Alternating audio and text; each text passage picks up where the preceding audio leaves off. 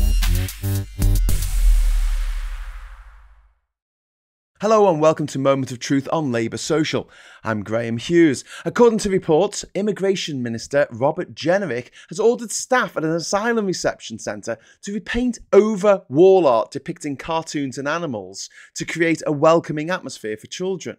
Enver Solomon, the CEO of the Refugee Council, claims that Jenrick gave the order during his visit to the Kent Asylum Intake Unit.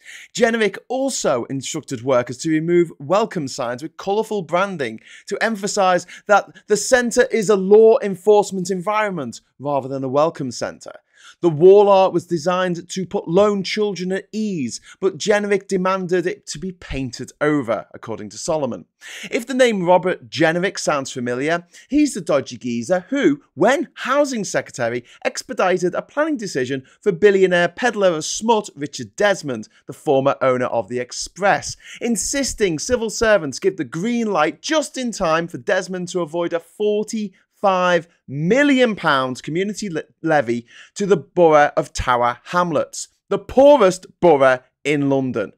That would have paid the wages for over 1,200 nurses for a year. Ladies and gentlemen, the modern Tory party.